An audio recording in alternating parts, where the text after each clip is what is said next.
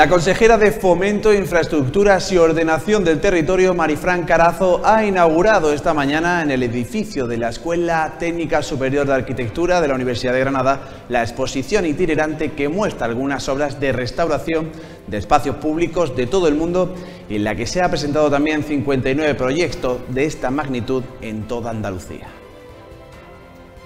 ¿Qué tal? Buenas noches. Estamos en la Semana de la Arquitectura y con este proyecto denominado Plan Vive tu Ciudad se pretende desde la Consejería de Fomento e Infraestructura de la Junta de Andalucía que se inviertan más de 40 millones de euros en mejoras de ciertos espacios públicos de toda la autonomía. Pero la actualidad de Granada y su área metropolitana está cargada de noticias que queremos que sepan y por ello les presentamos las más destacadas en titulares. Comenzamos. Granada conmemora hoy el aniversario de la batalla de Lepanto. Esta mañana se ha celebrado una ofrenda floral en honor al almirante Álvaro de Bazán en la Plaza Isabel la Católica dentro de las actividades previstas para la jornada. La Liga Leporo vuelve mañana a la programación de PTV Granada con el partido que enfrentará en el pabellón Pisuerga a Real Valladolid y a Covirán Granada. Encuentro que podrán disfrutar en directo y en abierto desde las ocho y media de la tarde. Concluye Fruit Attraction 2021 con la satisfacción de los agricultores granadinos que han participado en esta cita en el recinto de IFEMA de Madrid y que desde PTV les hemos contado día a día.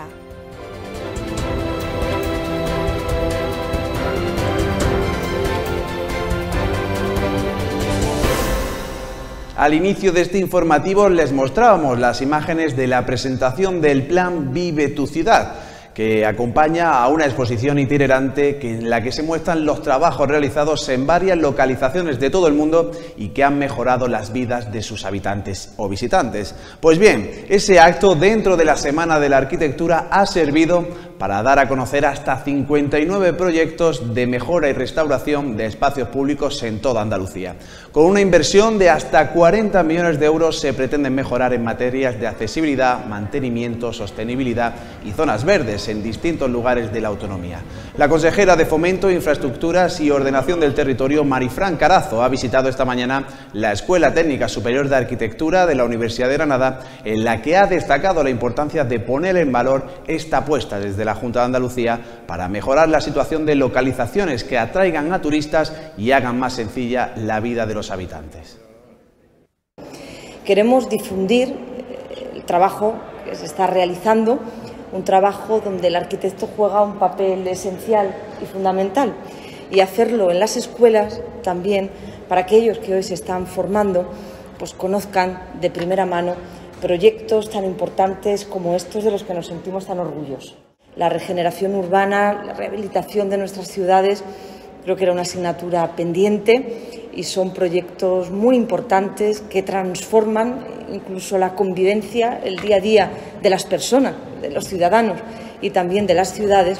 Y estamos muy satisfechos de impulsar estos 59 proyectos a lo largo y ancho de Andalucía. Y lo decía la Secretaría General, además municipios muy diferentes desde pequeños municipios rurales, municipios del litoral, ciudades medias, eh, que muestra la diversidad de Andalucía. Le contaba y le decía. Hace un par de semanas desde el Ayuntamiento de Granada se puso en marcha la campaña Green Week 2021 con la que se buscaba concienciar sobre la recogida de residuos eléctricos y electrónicos en centros escolares.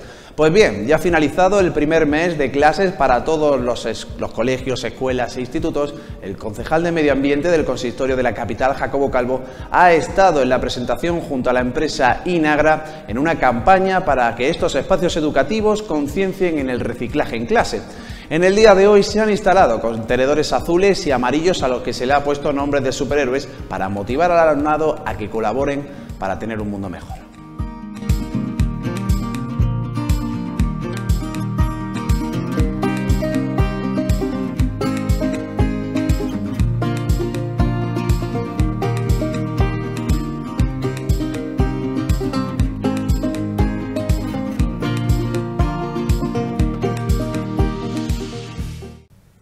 Ayer, alrededor de las 12 de la mañana, tuvimos que lamentar el fallecimiento de una mujer de 52 años tras ser atropellada por un camión a la altura del Paseo del Violón. Aunque efectivos de la policía local de la capital intentaron reanimarla, no se pudo hacer nada. Tras la primera investigación pericial y conocerse que el conductor dio negativo en los controles de alcoholemia y estupefacientes, el motivo principal de la tragedia parece ser un fallo en los frenos, aunque la policía aclaró que el freno de mano funcionaba perfectamente. Como muchos de ustedes saben, Granada tiene una gran vinculación con la famosa batalla de Lepanto. Por eso, en algunos puntos de la provincia vinculados con esta batalla, se ha celebrado el 450 aniversario de esta marcada fecha bélica, con actos que comenzaron en el día de ayer, día 6, y que se han prolongado hasta la tarde de hoy. Desde conferencias en relación con el enfrentamiento, pasando por conciertos de viento, madera y percusión, hasta la posibilidad de subir a uno de los grandes buques de la Armada Española en el puerto de Motril. Actos que han sido todo un éxito para la organización y que han tenido una buena acogida por parte del público. Hoy finaliza en Madrid la feria de frutas y hortalizas Fruit Attraction, en la que durante tres intensos días se han encontrado en el recinto de IFEMA los principales productores y comerciantes de este sector para hablar de novedades del mismo. Desde la expedición granadina a la que PTV ha acompañado durante toda la semana, nos muestran su satisfacción con lo mostrado en su stand y por lo que han aprendido del resto de zonas del país, siendo los frutos subtropicales de nuestra costa y el espárrago verde los productos estrella de nuestra provincia en la muestra. Esta tarde ha terminado en Madrid la Feria de Frutas y Hortalizas que durante tres días se ha convertido en el mejor escaparate de los productos del sector agrícola. Nuestra provincia ha estado presente un año más en esta cita con las empresas y cooperativas hortofrutícolas más potentes de Granada, que ya cuentan con una trayectoria consolidada como exportadoras a países europeos junto a otros puntos internacionales. En esta cita de negocios se ha vuelto a disfrutar del encuentro con clientes de multitud de países europeos que han podido conocer las innovaciones y la excelente gama de especialidades del campo granadino. Una edición más, las cooperativas granadinas han sorprendido a sus clientes con frutas y hortalizas de calidad, con los más altos estándares de seguridad alimentaria y cualidades organolépticas únicas. En total han sumado más de 400 metros de superficie donde han celebrado presentaciones y reuniones de negocios. No han faltado las presentaciones innovadoras como la agricultura centrada en reducir lo innecesario para producir con mayor excelencia oferta de frutas subtropicales y hortalizas ecológicas o la oferta de vegetales de verano y novedades para la próxima campaña. Junto a los subtropicales, el espárrago ha sido el otro gran protagonista de la provincia granadina. El espárrago verde es una auténtica especialidad de Granada y en esta feria la Federación de Cooperativas ha presentado al sector la estrategia de la nueva interprofesional de espárrago verde de España, apostando por la promoción de este exquisito producto puntal de sabor en la gastronomía. La interprofesional nace con el propósito propósito de fomentar el conocimiento, la eficiencia y la transparencia de los mercados, optimizando la coordinación entre operadores y actuando en momentos de crisis de mercado. Además, velará por la calidad óptima del producto, impulsará proyectos de investigación y será una herramienta eficaz para la divulgación de las propiedades del espárrago. En esta semana en la que Granada celebra la Feria del Libro, queremos hablarles, como no, de literatura. Y es que la Diputación de Granada ha puesto en marcha, a través de la Delegación de Igualdad, Juventud y Administración Electrónica, el curso Mujeres Invisibles. Un total de 10 sesiones de dos horas que tienen como objetivo dar visibilidad al papel de la mujer en nuestra literatura. Y seguimos hablándoles de temas relacionados con la mujer, en este caso por temas bastante menos agradables. Pasados nueve meses de este 2021, las cifras arrojadas desde el Gobierno reflejan que la violencia hacia las mujeres sigue existiendo en una sociedad tan avanzada como es la nuestra, por lo que toda campaña que impulse la lucha frente a este problema es bien poca. Granada ha dado respuesta a un total de 6.398 consultas sobre violencia de género durante el primer semestre de 2021 a través del Instituto Andaluz de la Mujer, lo que supone 1.996 consultas más que en el mismo periodo de 2020 y un incremento del 45,34%. De esta manera, el trabajo realizado por el Centro Provincial de la Mujer, los Centros Municipales de Información a la Mujer y el Teléfono de Atención a las Mujeres ha permitido atender a una media de de 35 consultas diarias sobre violencia contra la mujer frente a las 24 de hace un año. A este dato hay que sumar que se han atendido 9.903 mujeres, lo que supone una media de 55 al día y un aumento del 27,55%. Así, en este periodo se ha dado apoyo y asesoramiento a 9.903 mujeres en la provincia. Son 2.139 más que en junio de 2020. Y además, se han atendido 16.201 consultas, de las cuales el 34,49% están relacionadas con violencia machista. La línea 900-200-999 se ha convertido en una de las principales puertas de entrada a todos los servicios y programas del Instituto Andaluz de la Mujer. Durante el primer semestre del año, este recurso ha recibido en Granada un total de 2.713 llamadas, casi 500 llamadas más que al inicio de la legislatura, cuando se atendieron 2.221 en 2018. En la comparativa con respecto a 2020, el año en el que se batió el récord histórico de las llamadas de este servicio, los datos se mantienen prácticamente igual. Asimismo, las consultas del entorno de las víctimas de violencia de género al teléfono 900 200 999 han crecido un 37,1% en el último año. Han pasado de 140 en junio de 2020 a 192 el primer semestre de 2021. Además, a través de este recurso se han gestionado en la provincia 38 acogimientos de mujeres y sus hijos e hijas.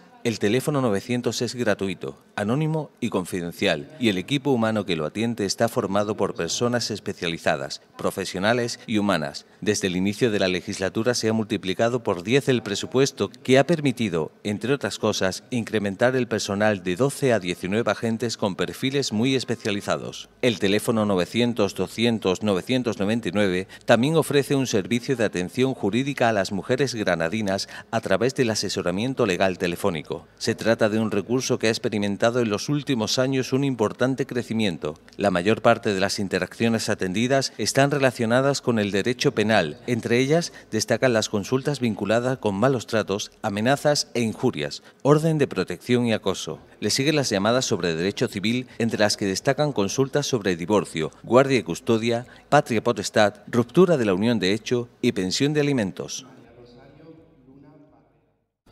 El famoso Plan Alhambra contará con más de 20 millones de euros para la recuperación del patrimonio de la ciudad, en un proyecto destinado a reactivar la economía y el turismo en la capital.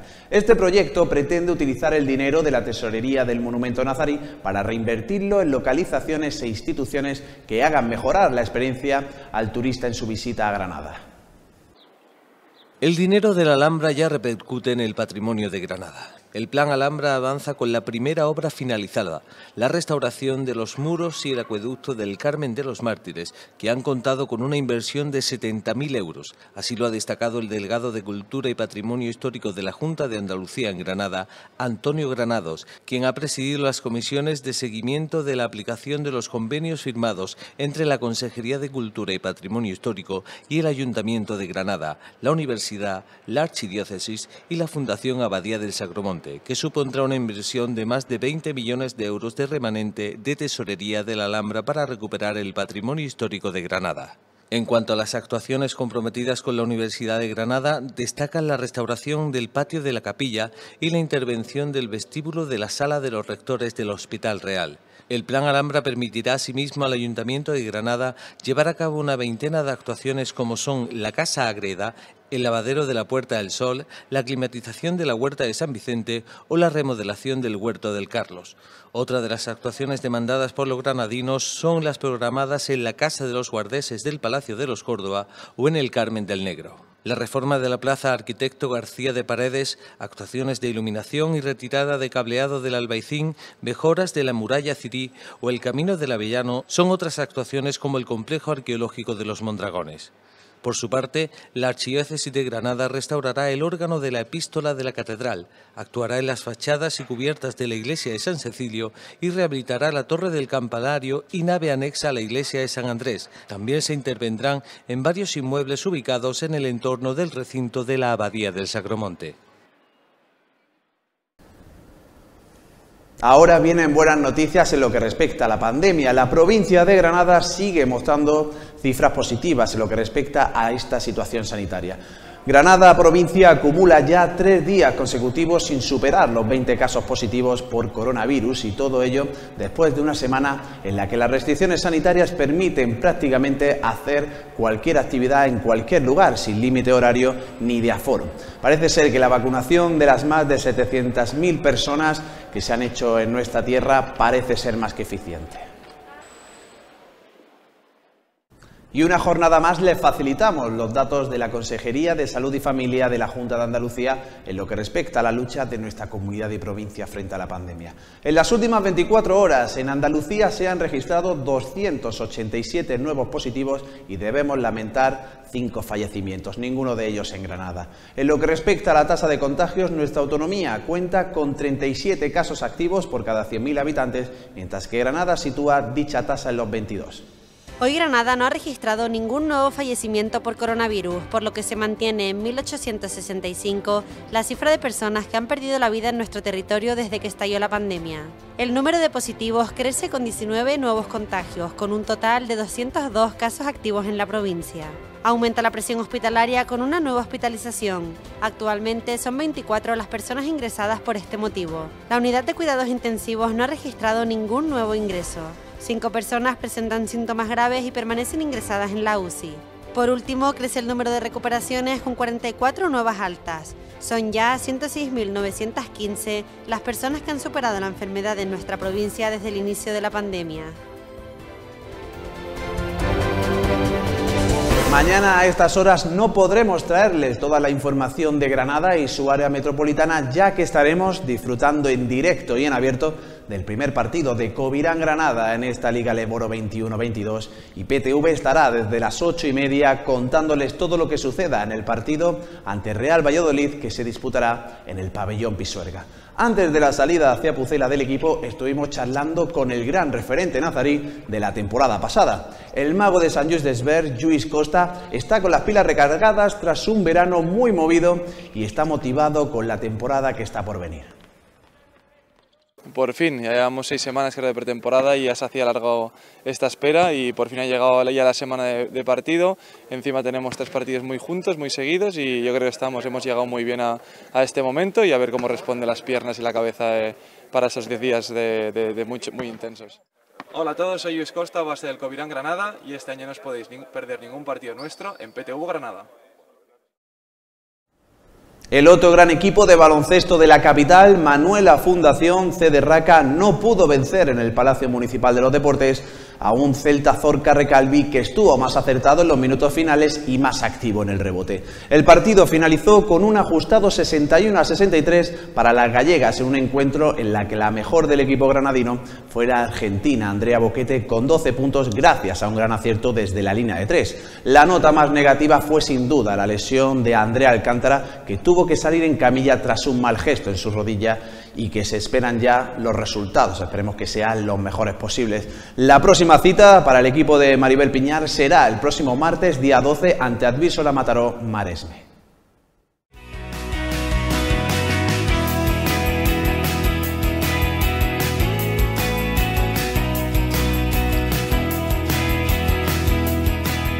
La jornada del viernes estará protagonizada por cielos poco nubosos o despejados, salvo intervalos de nubes bajas y brumas en el litoral. Habrá temperaturas sin cambios donde los termómetros alcanzarán sus máximas en los 30 grados. Habrá temperaturas sin cambios donde los termómetros alcanzarán sus máximas en los 30 grados en las zonas de la capital y Loja. En Baza bajarán hasta los 28 y en la costa tropical hasta los 27. En cuanto a las mínimas, en Granada se notarán las horas más frescas que rondarán los 13 grados, los 15 en Loja, 11 en Baza y 19 en Motril. Tendremos vientos de componente este en el litoral y variables flojos en el interior.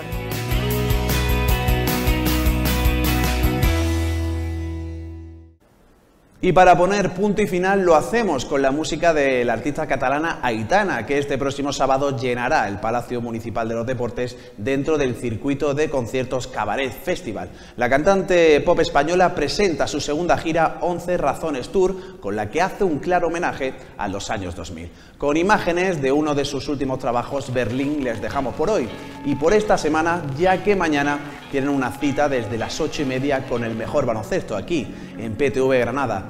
Hora en la que conectaremos con el pabellón Pisuerga de Valladolid para contarles lo que suceda entre Real Valladolid y el Covirán Granada. Yo no me lo pienso perder y espero que nos acompañen en el inicio de temporada LEV que va a ser inolvidable, se lo aseguro. El próximo lunes volveremos para contarles todo lo que suceda en Granada y en su área metropolitana. Muy buenas noches y gracias por su